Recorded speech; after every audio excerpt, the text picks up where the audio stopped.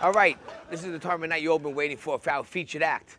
Uh, as I said, he's been on the Johnny Carson Show 88 times. We have the legendary mentalist. Let's give a late night welcome for the amazing Kreskin.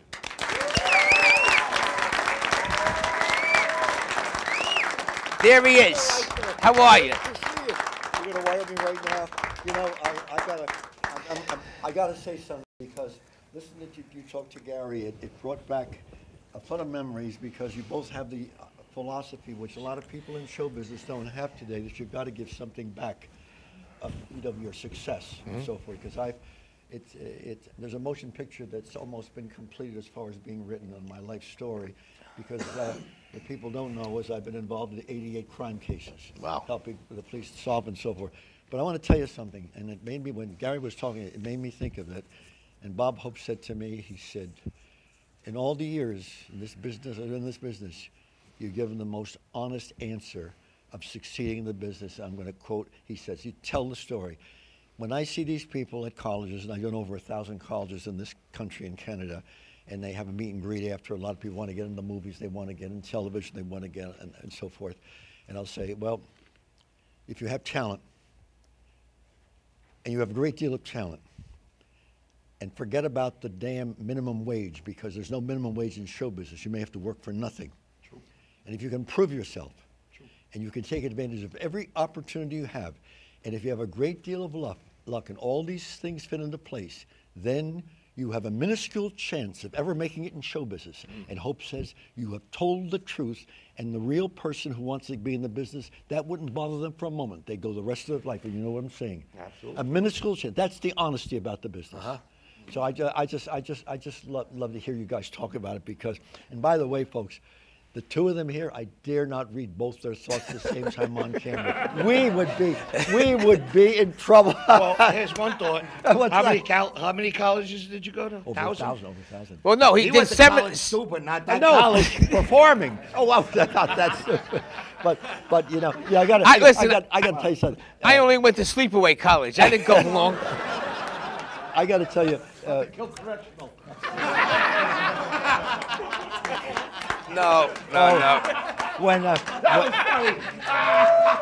when, when Tom when Tom Hanks, I, I got it, and I'm not a movie maker, but Tom Hanks made the movie The Great Buck Howard, and you folks can watch it on on the internet and what have you, because uh, it, it was written by one of my road managers, John Malkovich, plays me in the movie. So Hanks opening night because the. uh, It, it, I'm the character in the, in the whole story, and uh, uh, Hanks at the end said, "I want you to make certain that this statement is heard at the end. So when you watch the movie, that it's a full-length story, love story, and all that jazz, crazy stuff. Not my love's life, but so, so forth. At the end, you hear the voice say, "The Kreskin's never been shown to have used electronic devices or secret assistance in any part of his program." So opening night on Broadway, uh, when we're going down the red carpet, I get to the end, and Hanks hugs me and says, "Thanks for letting my son play play you and John Malkovich." And I, and I, he, I said he did a great job. And Hank says, I want to tell you the good and the bad side about making this movie. And this is, the public can't hear because it's, a, a, I know, hundreds of people, and we're going to go in when this movie's going to start. And I said, What did you say? He says, I'll tell you the good and the bad part about making the movie.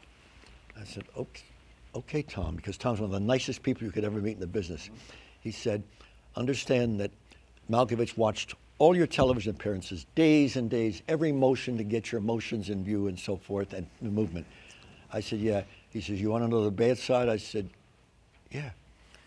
He says, for three days, he shook hands with each of us for five minutes like this, and we were going around needing a chiropractor. He wanted, he wanted to get the handshake down, and in the movie, that's all he's doing is shaking hands all over the Well, the first time he did that to me the chiller, I wasn't even expecting him. I I know. my arm out of his socket. I, I go, if this guy was 30 years younger, I would but that's the way out. I am. That's my, that's my, I was like this. yeah.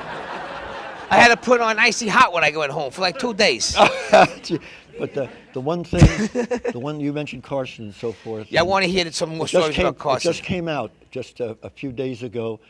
I never said it, and- I didn't do it. Nobody's going to say I did it. But uh, Johnny Carson had a, a tremendous philosophy, which he uh, never allowed his guests to be in his uh, dressing room. He didn't, and he didn't see them before the program. See, that's the because, best way to do it. because some of the best remarks come spontaneously, and they'll say, "Gee, you got to say that later on." It never comes later on the same way. Never. Carson never allowed anyone before except two people Orson Welles and yours truly. Oh yeah. Really? And the reason it was yours truly because I did something with Carson, which NBC banned me from doing. No way. They called me on the phone. I was traveling, and they said, uh, uh, "Kreskin, you're on next Monday, whatever it is, and you're going to do such and such with John." Does such and such. I said, "Yes." They said, "You're not to do this. This is I'm, we're one of the heads of N- NBC. You're not to."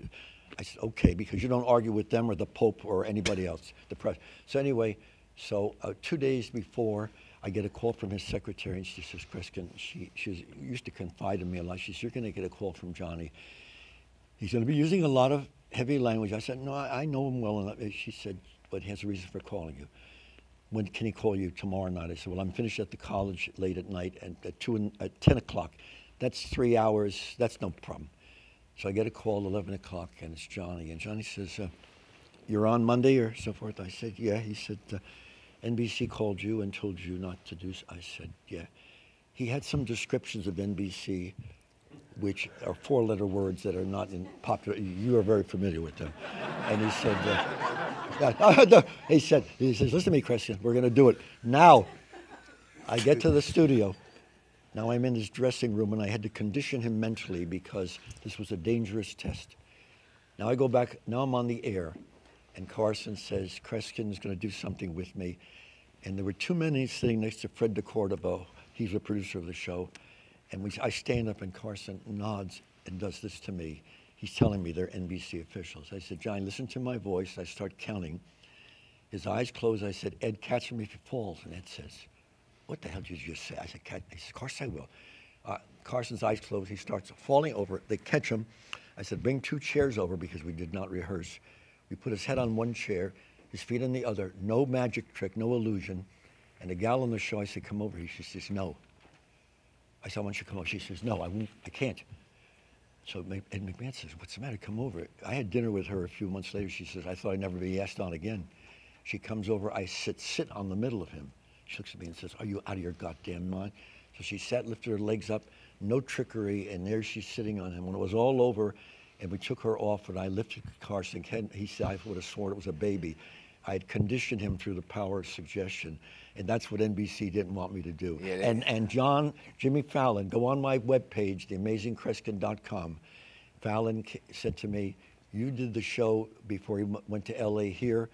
Did you? do- Where did you do that?" I said, "Right in that place there." He says, "The next time you're on, I did it with Jimmy Fallon, between two chairs, but no one sat on him. I stood on him. Really? Stood on him. That's sick. We want to show the audience and uh, What show I do for a living. I want you to show them what Can you I do, do for a for something living. now? Yeah. All right.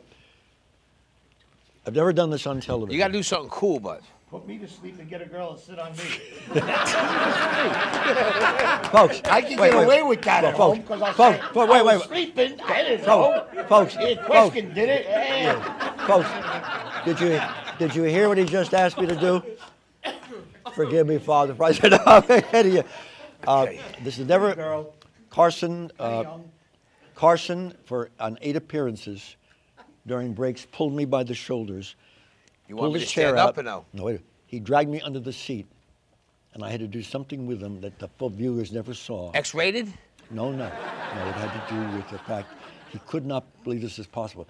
I want you to pick someone from the audience whom I, I don't know. Maybe uh, you don't have to play cards, but maybe you just play, maybe play goldfish as a kid or someone. Any some- volunteers out there? One of, one of my Yeah, yeah. past late night guests. Yeah, come on. Domini. Yeah, good. What's up, baby? Hi. Yeah, you can't be holding the microphone in your hand. Okay, so Uh, where do I? all right. What- What's your first name? Domini. Jo- Johnny, I want you to face, sit, sit in the face of the table. I want you to do that. I want you to close your eyes, and I, I got to do this legitimately because I did it with Carson. And he just flipped out. These are shuffle playing cards. Generally, I'm going to hold the deck behind the chair, and I'm going to riffle like that. Okay. I'm not going to sh- spread the cards. I'm just going to riffle like that. You say stop anytime you want. Let me whip. Just I as I to look riffle. at them? Uh, Just what? Say stop whenever you want. Okay. Stop. All right, uh, listen, I don't want to see the card. Just take it off the deck. Take it off, but keep it face down.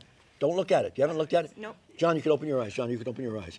You took a card out where you stopped me, and you, you haven't seen the card. No. All right. Oh my God, it's so nerve-wracking. This, I, Carson was fascinated that I could influence people's responses and thinking without speaking to them, by just by mental concentration and what have you. Johnny, nobody talked to you about this before the show. You haven't shown me the card. This is another deck of cards. I guess they messed this up when they Those are the ones it. that you took from my house. I think it was another way to put it. John, the, the, the thing to realize, it's a regular deck of cards. They're all different, what have you. Here's what you're going to, oh, there's a joke. No, there's a, Johnny, what you're going to do is this. You're going to take the cards in your hand. Now, let me just make sure that the jokers are out of here.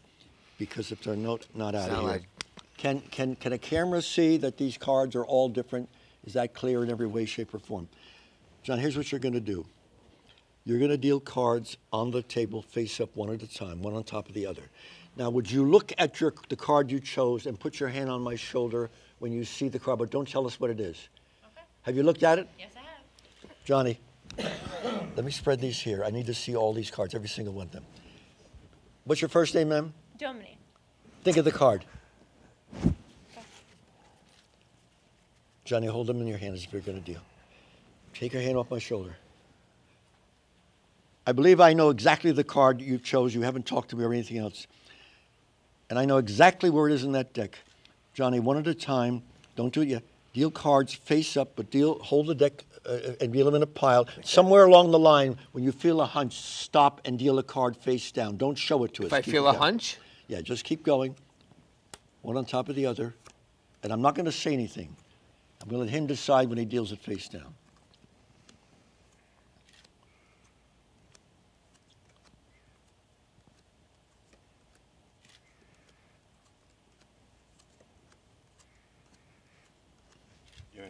Don't say as soon as you feel a hunch, do it. I mean, don't don't don't don't don't play games. It- It'll just when you feel like inclined, just do it.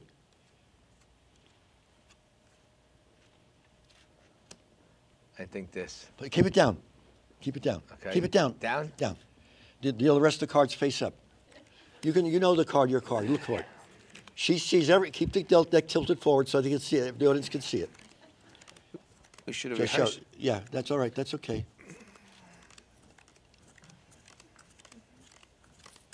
Tell me honestly. Keep on as he goes through. Tell me honestly. You saw every single card in the deck, and you know the card you thought of. Did you see your card? You did I not did see not. your card. did not see you did card. not turn her card face up.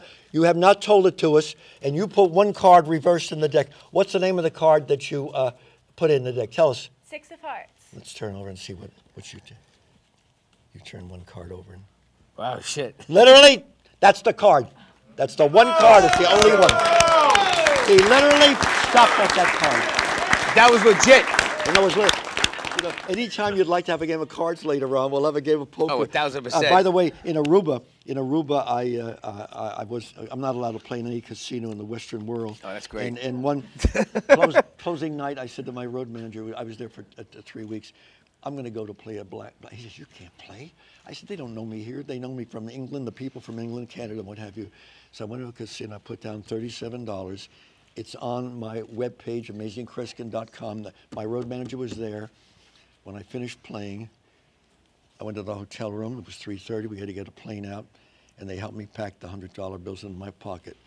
I started with thirty-seven dollars and won twenty-two thousand four hundred dollars in two and Wow. a half hours. That's great. Can I be? Can I be honest with you, folks? Right now, I'm just not getting that much. I'm only kidding you. Well, Kreskin, I've Never heard that before. listen, it was my pleasure. Look at this. I'm holding it down. Oh, this is, that's our time. We're already over We're 10 out minutes. time. We went over. Gary time. Pastor, guys, sit down. to this. Next time I come on, I will show you how I can, will take a half dozen or so people from the audience how I can control them by just thinking, and they will end up being paralyzed, unable to move and speak and talk for uh, almost 15 minutes. Can I I do that to my wife? can I do that to you? All right, guys, the amazing Kreskin, Gary Pastor. I love that line.